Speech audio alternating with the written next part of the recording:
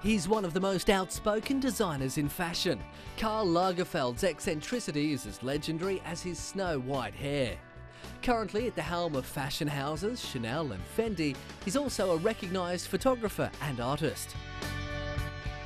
Karl Lagerfeld, known as Kaiser Karl, is widely recognised as one of the more influential fashion designers of the late 20th century. Despite moving from label to label, Karl has always made his authentic stamp on any project. One of the keys to his success is his sense of humour. Lagerfeld's legendary pieces include the shower dress with beaded water streaming down the front, a car dress with a radiator grille and fender, and a multitude of outstandingly eccentric hats.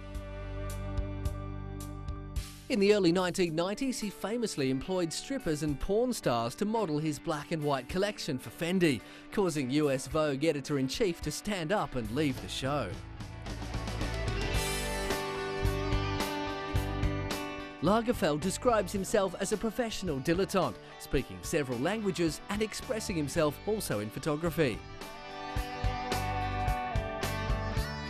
This study of male nudes is called fittingly The Emperor's New Clothes.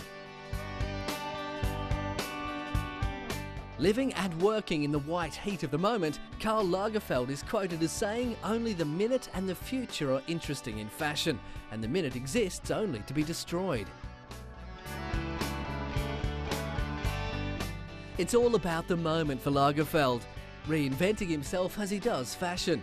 Even Vogue crowned him the unparalleled interpreter of the mood of the moment.